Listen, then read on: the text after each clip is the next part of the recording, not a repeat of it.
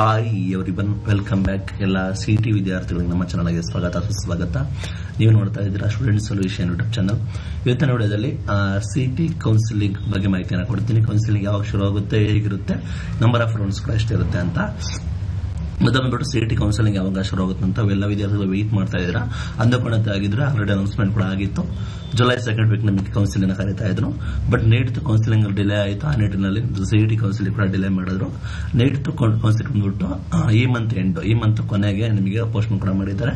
ಅದರ ನಂತರ one week ಆದ್ಮೇಲೆ ನೀಟ್ ಕೌನ್ಸಿಲಿಂಗ್ ಆದ್ಮೇಲೆ ಒಂದು ವೀಕ್ ಆದ್ಮೇಲೆ ನಾವು ಕರಿತೀವಿ ಅಂತ ಹೇಳಿದ್ರು.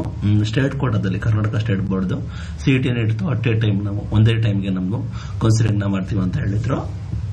ಡಿಲೇ ಆಗ್ತಾ ಇದೆ. ಈ ಮಂತ್ ಲಾಸ್ಟ್ ವೀಕ್ ನಾವು ಎಕ್ಸ್ಪೆಕ್ಟ್ ಮಾಡಬಹುದು ಈ ಮಂತ್ ಲಾಸ್ಟ್ ವೀಕ್ ಕೂಡ NEET all India quota council ಶುರು ಮಾಡ್ತಾರೆ. ನಂತರ ಒನ್ ವೀಕ್ ಆದ್ಮೇಲೆ ನಾವು ಶುರು ಮಾಡ್ತೀವಿ ಅಂದ್ರು. ವಿದ್ಯಾರ್ಥಿಗಳಿಗೆ ಪಾರ್ಟಿಸಿಪೇಟ್ ಮಾಡಿ ನಂತರ ಅವರು ಸ್ಟೇಟ್ಗೆ ಪಾರ್ಟಿಸಿಪೇಟ್ ಮಾಡಬಹುದು ಆ ನಿಟ್ಟಿನಲ್ಲಿ ವಿದ್ಯಾರ್ಥಿಗಳು ಇದು ಶುರು ಆಗುತ್ತೆ ಈ ಮಂತ್ ಲಾಸ್ಟ್ಗೆ ಎಷ್ಟು ರೌಂಡ್ ಇರುತ್ತೆ ಅಂದ್ರೆ ನಿಮಗೆ ಗೊತ್ತಿಲ್ಲ. Number of round first round second round second extended round third number of round third ಇರುತ್ತೆ, ಮೂರ್ ರೌಂಡ್ ಇರುತ್ತೆ.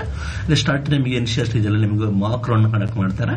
ಮಾಕ್ ನಮಗೆ ಯಾವ ರೀತಿ ಏನು ಎತ್ತ ಅಂತ ನಮಗೆ ಐಡಿಯಾ ಬರುತ್ತೆ. ನಂತರ ನೀವು ಹೋಗಿ ಏನ್ ಮಿಸ್ಟೇಕ್ ಮಾಡಿದ್ದೀರಾ ಅದೆಲ್ಲ ನೀವು ಔಟ್ ಮಾಡ್ಕೊಂಡು ಫಸ್ಟ್ ರೌಂಡ್ಗೆ ಹೋಗ್ತೀರಾ. ಕಾಲೇಜ್ ಆಡ್ ಮಾಡ್ತೀರಾ. ಒಂದು ಕಾಲೇಜ್ ನಿಮಗೆ ಅಲೌಟ್ ಅಲೋಟ್ ಆಗುತ್ತೆ.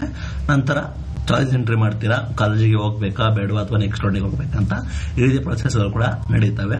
ಒಂದು, ಎರಡು, ಮೂರು ಥರ್ಡ್ ರೌಂಡ್ ವರೆಗೂ. ನಿಮಗೆ ಸಪರೇಟ್ ಆಗಿ ನಿಮಗೆ ಡೀಟೇಲ್ ಮಾಹಿತಿನ ಕೊಡ್ತೀನಿ. ನಂಬರ್ ಆಫ್ ರೌಂಡ್ ಮಾಡಿ ತ್ರೀ ರೌಂಡ್ ಇರುತ್ತೆ. ವಿದ್ಯಾರ್ಥಿಗಳು ಪಾರ್ಟಿಸಿಪೇಟ್ ಮಾಡಬಹುದು ಸಿಟಿ ನೀಟ್ದು ಅಟ್ ಎ ಟೈಮ್ ಕೋರ್ಸಿನ ಶುರು ಮಾಡ್ತಾರೆ. ವಿದ್ಯಾರ್ಥಿಗಳು ಇಚ್ಛೆ ಪಟ್ಟರೆ ಸಿಟಿದು ಕೂಡ ಮಾಡಬಹುದು ನೀಟ್ ಕೂಡ ಟೈಮ್ ಮಾಡಬಹುದು ನಿಮ್ಗೆ ಯಾವ್ದು ಪ್ರಿಯಾರಿಟಿ ಬೇಕು, ಯಾವ್ದು ಫಸ್ಟ್ ಪ್ರಿಯಾರಿಟಿ ಬೇಕು ಅದನ್ನ ಫಸ್ಟ್ ಪ್ರಿಯಾರಿಟಿ ಆಗಿ ವಿದ್ಯಾರ್ಥಿಗಳು ಕೊಡಬಹುದು ನಂತರ ಥರ್ಡ್ ರೌಂಡ್ ಕಂಡಕ್ಟ್ ಮಾಡ್ತಾರೆ. ಅದ್ರ ಬಗ್ಗೆ ನಿಮಗೆ ಟೈಮ್ ಟೇಬಲ್ ಸಿಗೋದ್ರ ಅನೌನ್ಸ್ಮೆಂಟ್ ಕೂಡ ಮಾಡ್ತಾರೆ. ಆಗ ನಿಮಗೆ ಕ್ಲಾರಿಟಿ ಬರುತ್ತೆ.